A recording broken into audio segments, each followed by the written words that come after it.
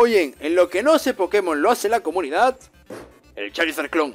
En Pokémon Escarlata y Púrpura. ¿Me sorprende tanto que ya hayan mods en Pokémon Escarlata y Púrpura? No, porque se pueden hacer tipo de fumadas. Y me encanta. Y es simplemente un mod muy tonto. Es simplemente meter al Charizard con una textura de clon. Que a mí siempre me ha gustado mucho cómo se veía el Charizard clon. Siento que como, que como clon en sí es hermoso. Y bendito Dios, la comunidad se mama y hace cosas muy bonitas. Amo un Charizard clon. ¿Para cuándo lo meten en Unite?